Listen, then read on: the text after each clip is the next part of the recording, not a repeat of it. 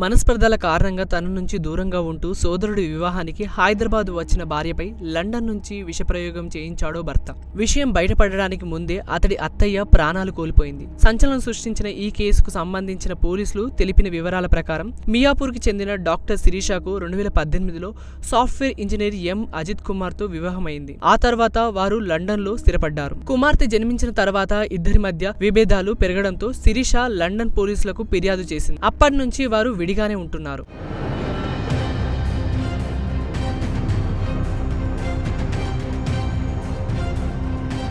తనపై పోలీస్ ఫిర్యాదు చేయడంతో భార్యపై కక్ష పెంచుకున్న భర్త ఆమెతో పాటు కుటుంబం మొత్తాన్ని అందం చేయాలనుకున్నాడు. అందుకు లండన్లో తన వద్ద పనిచేస్తున్న వినోద్ కుమార్ను ఒప్పించాడు.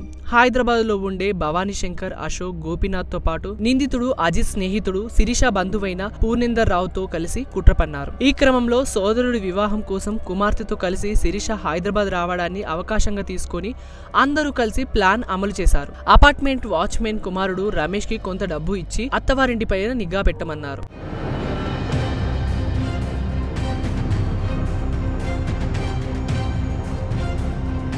ప్లాన్ అమల్లో భాగంగా జూన్ ఇరవై ఐదున తెల్లవారుజామున ముగ్గురు వ్యక్తులు విషం ఇంజెక్షన్లను తీసుకొని శిరీష తల్లిదండ్రుల ఇంటికి వెళ్ళారు. అయితే ఆ ప్రయత్నం విఫలం కావడంతో మరో ప్లాన్ రచించారు. ఈసారి డెలివరీ బాయ్ రూపంలో విషం కలిపిన మసాలా పొడులు పసుపు కారం వంటివి శాంపుల్ ప్యాకెట్లను రూపంలో అందజేశారు. కూరల్లో వాటిని వాడడంతో ఇంట్లోని ఆరుగురు అస్వస్థతకు గురయ్యారు.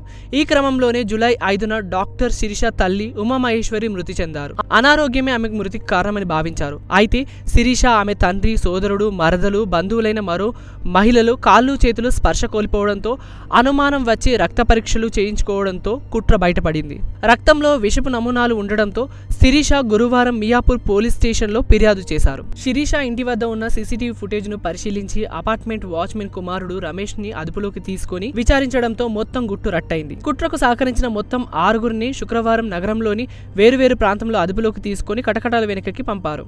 లండన్లో ఉన్న ప్రధాన నిందితుడైన శిరీష భర్త అజిత్ కుమార్ను కూడా అరెస్ట్ చేస్తామని పోలీసులు తెలిపారు.